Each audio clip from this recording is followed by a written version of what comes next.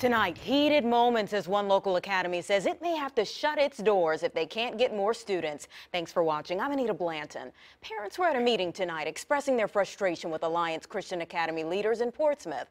They crowded into the forum, which was held inside of the church next to the school on Portsmouth Boulevard. Uh, leaders say that there's a chance the middle school and high school could shut down. Right now, there are about 160 paying students, but the academy says they need at least 210.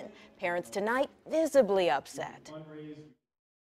It is with a heavy heart that in two months, I and everyone else in this room may be saying goodbye to a school that we all love. We can make this thing work. We want the school to be here. We can make this work. We will make this thing work because God is not the author of confusion. There's so much confusion. I'd like to know what's going on.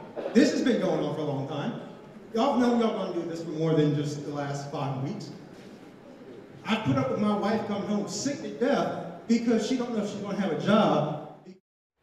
The academy opened as a junior and senior high school in 1971.